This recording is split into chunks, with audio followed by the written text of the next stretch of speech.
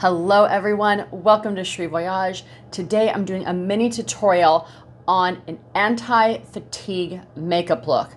I don't know about you guys, but being in my 40s, I'm just not sleeping as well as I used to, and I'm finding that there's just certain days where I wake up looking really tired, especially around my eyes. My skin looks a bit lackluster. So today I'm going to focus on a very quick easy, no more than I think seven pieces I used today to create this look, which is all about making bright, wide awake eyes, a nice luminous collection, and giving my makeup look some vibrancy today.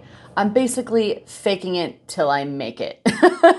so that is what this look is today. I call it the anti-fatigue look let's get started. If you guys have any questions or suggestions, you guys know what to do. Just reach down below. And if you want to support Cheri Voyage, don't forget to use the affiliate links and subscribe. All right, everyone, let's get started. So here we have the Chanel Le Blanc Rosy Light Drops with the Capture Totale Dior Serum. I'm going to take first the Le Blanc Rose Drops by Chanel. And then I'm going to add the Capture Totale Dior Serum Foundation. And I'm going to mix them together. This will create a nice brightening effect on the skin while still giving me the coverage I like. Taking my Beauty Blender, I'm going to pat that underneath the eye area, onto the cheek, the nose, and the chin. Next, we have the Lancome Teint Idole Ultra Wear Concealer, adding a couple drops to underneath my eye area, the outer corners, and around the mouth area. These are all places that help brighten and lift the skin I'm moving outward with my sponge on all areas of the face to do lifting, using my ring finger and tapping that on the inner corner of my eye. Going in now the Blanc Rosy Light Drops and the Teint Idole Concealer, and I will mix these together once again to create a nice brightening effect on my eyelids. This is a great way to brighten your lids, also prime them. Using my MAC 217 brush, I'm just going to blend those two together. This is one of my favorite makeup tips for creating a nice natural brightening effect around the eye area. Nice and bright. And this side not so much. Next we have the NARS Extreme Mascara. This is one of my favorite mascaras for long, voluminous lashes. I have very small lashes, so I love this mascara for giving me a nice clean length. Next is the Kjaer Weis Cream Blush in the color Happy. I love this color to brighten the cheek area. It's a creamy texture, nice and pigmented. I add a couple drops to the cheeks and use my beauty blender.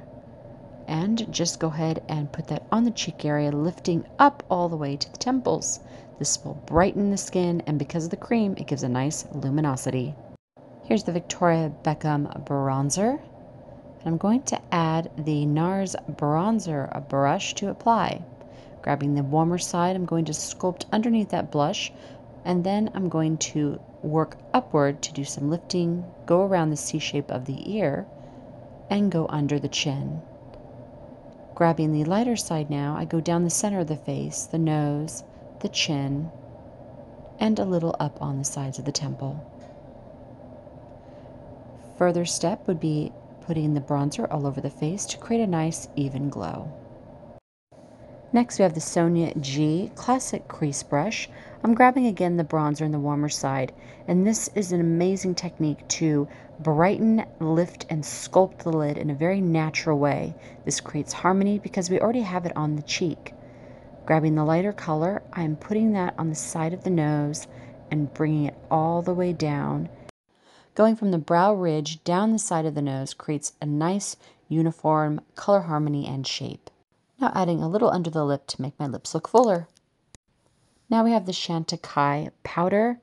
I'm just working that up the cheek underneath the eyes softly and using circular motions to create a nice even look. Complexion done. Next I have the NARS Lip Liner in a Halong Bay. I love this lip liner because it's in a soft neutral pink tone. I use it to give my lips some fullness while adding some shape to the corners as well as the top ridge of the lip. Next, we have the Chantecaille Lip Chic in the Butterfly Collection. One of the most beautiful formulations, creamy, hydrating, and leaves a beautiful glossy sheen to the lips. Next is the Chantecaille Rose Water. This has a beautiful mist to it and it really does a gorgeous job of hydrating and setting the makeup. And here we have our anti-fatigue makeup.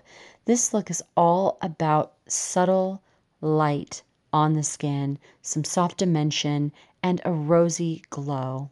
I hope you all enjoyed. Thank you all so much for watching. If you want to support Cheri Voyage, all you need to do is use the affiliate links below, subscribe, hit that like button, and leave me a comment. I'll see you all in my next video. As always, take care of yourselves, take care of each other. I'll see you soon. Bye for now.